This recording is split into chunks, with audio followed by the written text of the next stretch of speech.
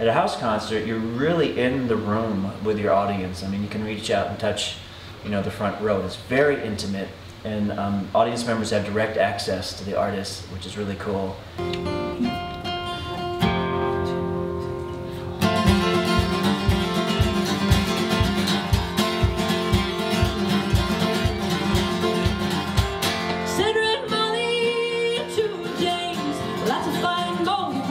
Know, lucky me, I just ran into David um, while I was playing at a local, actually Cheesetique. It's a, a, local restaurant that features music every once in a while. And um, David, you know, gave me his card and said, oh, I want to follow up with you about an idea. And um, the house concert world is something that I've been looking for, uh, getting into for a long time.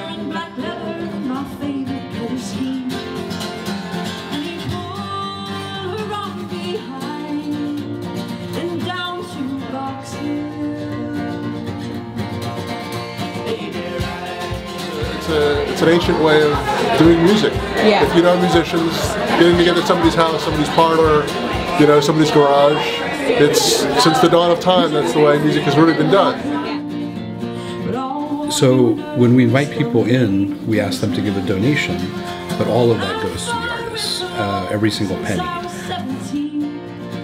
Well, it's like a big venue in the sense that it's quiet. I mean, it's a listening experience, um, but it's unlike a club in that people that it's quiet. uh, clubs are everyone's talking and drinking, so there's the informality of being able to sort of socialize with people uh, in between breaks and you know have a drink or or, or whatever. But um, um, so it's a very relaxed setting and.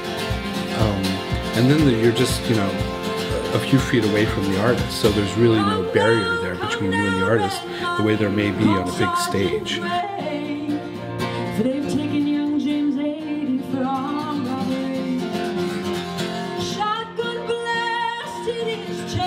I think we'll always do house concerts because they keep you honest. You know, if you're just in a rarefied atmosphere of green rooms and luxurious sound checks and, you know, no one can have access to you and all this kind of stuff, I think you, you can get a little yeah. disconnected. So uh, it's wonderful to play a big theater, a packed room, and then the very next night to go into someone's living room and just to keep it real. In the basement, there's three stone walls because this is a stone house, um, and we put in tile floors. It's a small ceiling um, or, a low ceiling, but it's it, acoustically it's very nice. We've had uh, groups that are in there without any amplification whatsoever, but I do have a PA system, and and that can also be used, uh, uh, and we do use it frequently. So I think the space itself, it's also kind of a, a a mobile space because that the, the, the, basement is also where there's a guest room and a bathroom. The guest room becomes the green room for the artist, and the and the artist can stay there as well. And and there's a couch and chairs, but we sort of move everything aside, put in um, folding chairs, and it almost looks like a little concert hall. The artists themselves feel like they're um, connecting with people at a different level. Um, there's a lot more banter and talking, and even talking with the audience. You you know, and you go to a show and you just hear song after song after song after song, and maybe you get you know a few words in between.